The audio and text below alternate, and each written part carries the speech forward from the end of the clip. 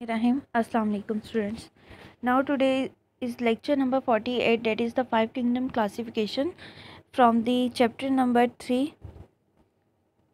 Firstly the five kingdom classification system and then five kingdoms. Five kingdom classification system was uh, given in 1937 by Echeron. He gives two terms to describe the prokaryotic and eukaryotic. Prokaryotic means to describe the bacteria and eukaryotic means to describe animals and plant cells.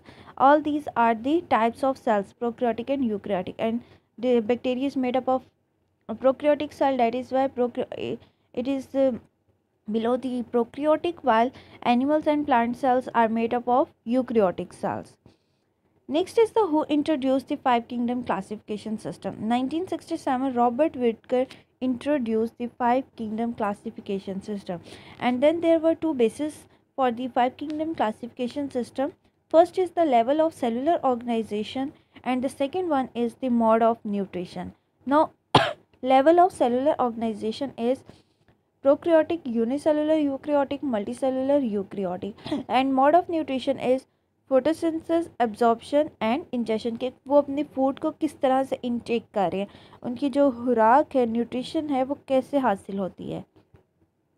Next is the modification of five kingdom classification system Then in 1988, Margulis and Schwartz modified the five kingdom classification of Whittaker and they considered genetics along with cellular organization and mode of nutrition and classification.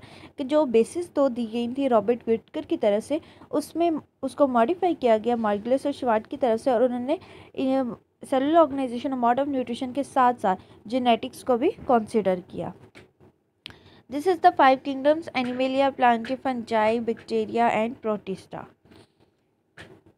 so, five kingdoms are first kingdom is the kingdom monera it is prokaryotic unicellular heterotrophic and some of them are photosynthetic. Their mode of nutrition is heterotrophic and some are photosynthetic because the heterotrophic is the bacteria while the cyanobacteria is the photosynthetic. Next is the kingdom protista. Protista is the eukaryotic unicellular and multicellular. And protista are further three types protozoans fungi like and algae. Algae protozoans and fungi like algae is unicellular colonial simple multicellular and it resembles with plant due to the plant cell wall and chlorophyll. While protozoans resembles animals and it lacks cell wall and chlorophyll while fungi is simply a fungi like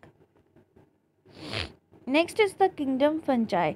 Kingdom fungi is eukaryotic multicellular made up of many cells heterotrophs because it cannot prepare their own food and it's and it is absorptive and decomposer means it absorbs the food from the uh, dead organic material and it is a decomposer that lie on the dead organic matter. This is the mode of nutrition of kingdom fungi Next is the kingdom plantae. It is eukaryotic, multicellular and they are autotrophs and they possess a multicellular sex organs and the examples are mosses, ferns, etc.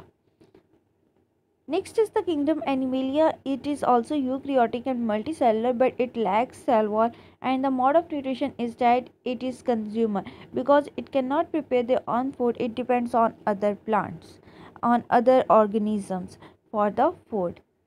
So today we have studied the, these are the distinguishing characters of five kingdom classification system that how they uh, each kingdom is different from the other kingdom. Thank you. So today's di diary is uh, kingdom fungi and kingdom uh, sorry kingdom five kingdom classification system and the five kingdoms. Thank you.